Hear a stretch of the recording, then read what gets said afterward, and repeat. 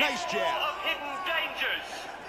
Why are we here? He's moving to the We left, trying to avoid that to big left-hand power shot. Inside leg kick. These dangers. This week we're going to be looking at how you can use the That straight blocked by Butcher. energy of a would-be assailant. That's a good straight. Positive force for your own self-defense. Okay, now, Naoki, I'd like you to play role of attacker in this demonstration. Okay, come at me. Big front kick. He's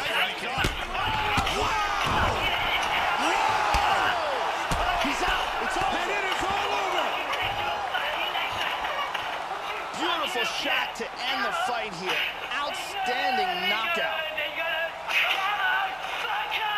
Joe, here's the finish on our fight replay. Let's take a look at the replay. This is the shot that drops him. Perfect technique. He's clearly in big, big trouble. Let's take a look at it one more time. Here's the knockdown. Vicious strike. Great angle here. Boom! And then he's out. Bruce Buffer has the